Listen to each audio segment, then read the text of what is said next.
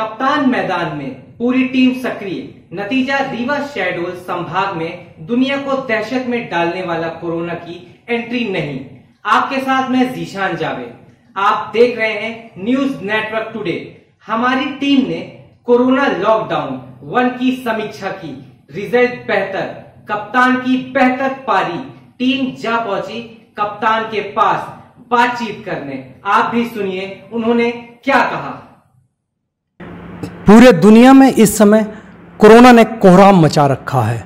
पूरा दुनिया का कोई भी ऐसा कोना नहीं है जो कोरोना से ना प्रभावित हो। लेकिन अगर बात की जाए भारत की, वहाँ भी मध्य प्रदेश की खास तौर से विंध्य की तो यहाँ का जो भी प्रशासनिक अमला था, उसने इतनी मेहनत की।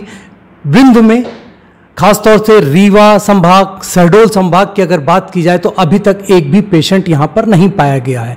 इस समय हम मौजूद हैं रीवा कमिश्नर डॉक्टर अशोक कुमार भार्गव जी के साथ।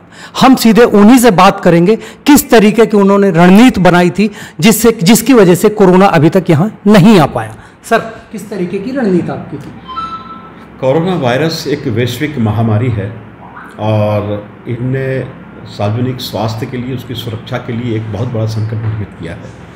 क्योंकि हम सब जानते हैं कि अभी तक इस महामारी का किसी तरह का कोई इलाज, कोई टीका उपलब्ध नहीं है। और एकमात्र इससे बचने का उपाय यही है कि कोरोना वायरस की जो श्रृंखला है, उसे तोड़ा जाए। और ये तभी संभव हो सकता है जब सब लोग अपने अपने घरों में रहें और लॉकडाउन के जो नियम हैं, उसका पालन करें। हमने इस संबंध में हमारे सभी सातों जिलों के कलेक्टर्स एसपी और जो हमारे स्वास्थ्य विभाग का अमला है, हमारे जो स्वास्थ्य कर्मी हैं और इसके साथ साथ समाज सेवी हैं, स्वयंसेवी संगठन हैं, धर्मगुरु हैं। इन सब का सहयोग लेकर टीम भावना के साथ काम किया। हमारे सभी जिलों की सीमाओं को हमने पूरी तरह से सील किया। बाहर से किसी का अंदर आना और यहाँ से बाहर किसी का जाना पूरी तरह से प्रतिबंधित था। यहाँ की जनता ने भी बहुत ही संकल्प के साथ, धैर्य और साहस के साथ अपना सहयोग किया। वे सब लोग अपने अपने घरों में रहे। हमने उनके लिए आवश्यक जो वस्तुएँ हैं, उसकी आपूर्ति को सुनिश्चित करने के लिए एक अच्छी व्यवस्था बनाई। ऑनलाइन व्यवस्थाएँ जो हैं, उपलब्ध कराई गई और एक निश्चित अंतराल से किराने की दुकानें हैं, सब्ज़ी है और उसके साथ साथ दवाई की दुकानें हैं। उन्हें भी हमने जो है, ओपन किया, लेकिन सामाजिक सुरक्षा दूरी को सुनिश्चित करते हुए दुकान के सामने, किराने की दुकान के सामने हमने गोल एक एक मीटर दूरी के घेरे बनाए ताकि लोग जो हैं सोशल डिस्टेंसिंग का जो है पालन कर सकें। तो कुल मिलाकर हमने सोशल मीडिया के माध्यम से आकाशवाणी रीवा और शहडोल पर लगभग 10 मिनट की वार्ता रिकॉर्ड करके उसे बार बार पूरे बहुत दूरस्थ ग्रामीण अंचलों तक उसे प्रसारित किया गया। लोगों को हमने चेतन किया जागरूक किया और लोगों में भी इस बात की चेतना है कि यदि हम नियमों का पालन नहीं करेंगे लॉकडाउन के नियमों का पालन नहीं करेंगे तो हम इस श्रृंखला को नहीं तोड़ पाएँगे। तो सभी के सहयोग से ये संभव हो पाया। रीवा संभाग के चारों जिलों में और शहडोल संभाग के तीनों जिलों में एक भी व्यक्ति कोरोना पॉजिटिव नहीं पाया गया। जो भी सस्पेक्टेड थे, उनका हमने तुरंत मेडिकल स्क्रीनिंग की। हमारी सभी चिकित्सा, चिकित्सालयों में हमने क्वारंटाइन के लिए अलग अलग बेड सुनिश्चित किए। Sanitiser mask N ninety five mask PPE kit और जितनी भी ज़रूरी जो उपकरण हैं सामान हैं उन सब की पर्याप्त उपलब्धता सुनिश्चित की। हमारे डॉक्टर्स हमारे स्वास्थ्यकर्मी आंगनवाड़ी कार्यकर्ता आशा कार्यकर्ता ये सब पूरी ऊर्जा के साथ भरे हुए इस दिशा में काम करते रहे। हमने बार बार इस बात को आ, आ, निश्चित रूप से करने का प्रयास किया कि कोरोना से हमको डरना नहीं है वरन लड़ना है। हमारा मोटो हमारा मिशन कोरोना को हराना है और इंसानियत को जिताना है। हमारे संभाग के सभी जितने भी अधिकारी हैं, कलेक्टर हैं, एसपी हैं और जो इस व्यवस्था से जुड़े हुए प्रत्यक्ष, अप्रत्यक्ष रूप से जितने भी संगठन हैं, कर्मचारी, अधिकारी, सब लोगों ने माननीय प्रधानमंत्री जी और हमारे प्रदेश के मुख्यमंत्री जी की ओर से जो बार बार आह्वान किया गया, उन निर्देशों का, स्थानीय प्रशासन के निर्देशों का उन्होंने पालन किया और कुल मिलाकर जो लॉकडाउन का पहला चरण है, उस पहले चरण में हम सब कामयाब रहे, सफल रहे और लगभग चार सौ लोग जो विदेश से आए थे, उनको भी हमने पूरी तरह से उनका मेडिकल चेकअप कराया।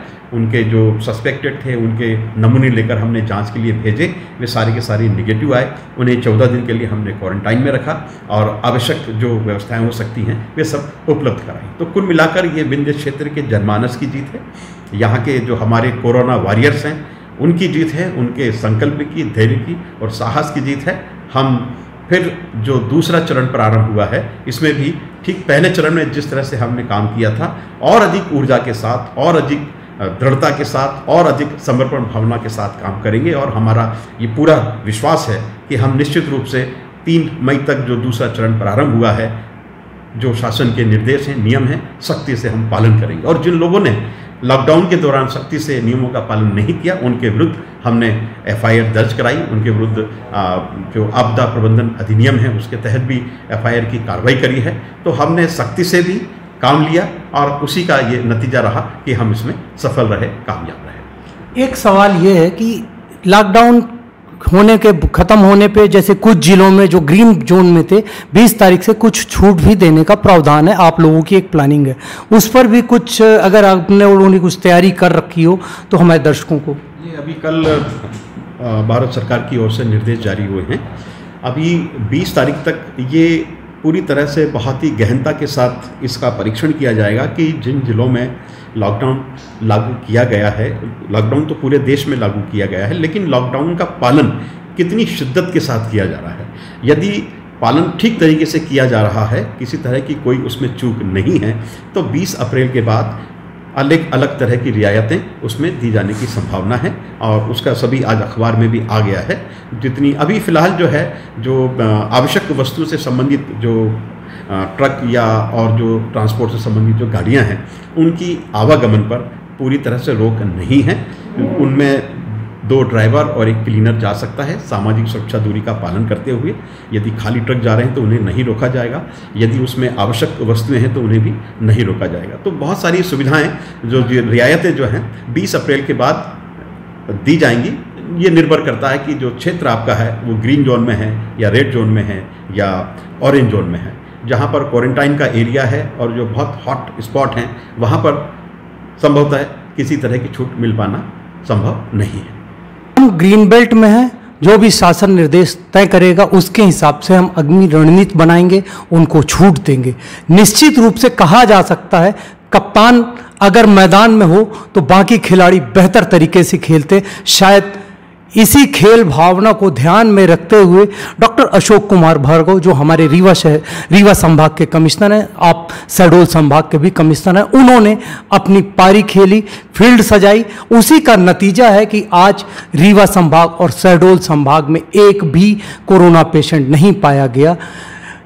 न्यूज़ नेटवर्क टुडे के लिए मैं समीम सौदागर के साथ जावेद अंसारी। कुशल रणनीति, बेहतर क्रियान्वयन। नतीजा कोरोना ज़ीरो में बोल्ड आप भी घर पर रहिए। आप है तो कल है। आपके मेजबान जिशान जावेद को दीजिए इजाज़त। फिर मिलेंगे एक नई खबर के साथ। नमस्कार।